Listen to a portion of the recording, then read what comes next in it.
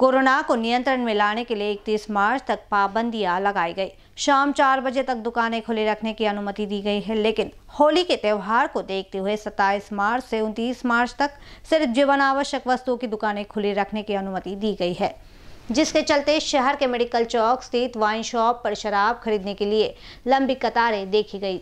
जो कोरोना संक्रमण को बढ़ावा दे रही है। कोरोना के कार्यकाल में भी कुछ ऐसे व्यापारी है जो पैसों के लालच में कोरोना के नियमों की धज्जियाँ उड़ा रहे हैं। होली के मद्देनजर जो है वाइन शॉप दो दिन के लिए बंद रखे गए हैं। तो आप देख पा रहे हो कि मेडिकल चौक में ये जो वाइन शॉप है, यहाँ पे कितनी लंबी कतार जो है शराब लेने के लिए वाइन लेने के लिए जो है, यहाँ पे लगाई, भीड़ जो है हमें दिख रही है। जहाँ एक तरफ़ उपराजधानी में कोरोना का संकट गहरा होता जा रहा है तो दूसरी तरफ़ ये भीड़ भी जो है।